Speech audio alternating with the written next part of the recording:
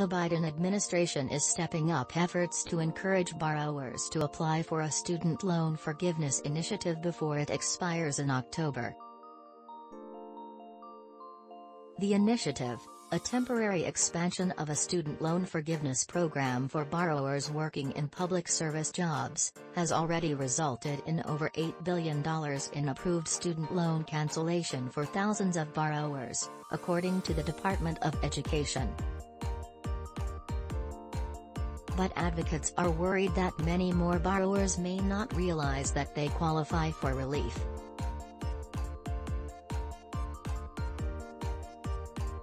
The Public Service Loan Forgiveness PSLF, program was enacted by Congress in 2007 to provide student loan forgiveness to borrowers who commit to working in public service careers. Borrowers who work for 10 years or longer in nonprofit or government jobs while meeting other program requirements can get their entire federal student loan balance cancelled under the program.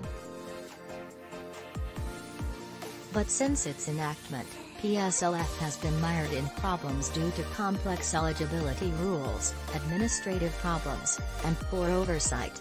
As a result, approval rates hovered in the 1 to 2% range for years.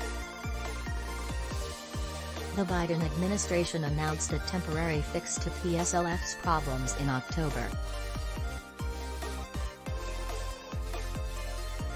Through the limited PSLF waiver, the Education Department temporarily relaxed some of the program's strict rules to retroactively count prior loan periods that otherwise could not qualify towards PSLF, including payments made under the wrong repayment plan or on the wrong type of federal student.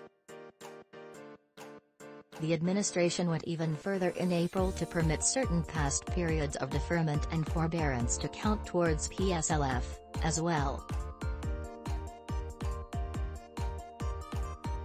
but the limited PSLF waiver program is only available for a relatively short period of time, and that time is sending soon, with an October 31st expiration date approaching.